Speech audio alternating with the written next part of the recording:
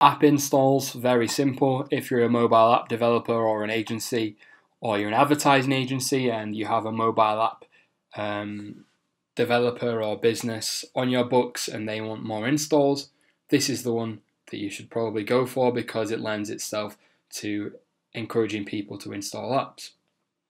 Um, there's not much else to say about that one really.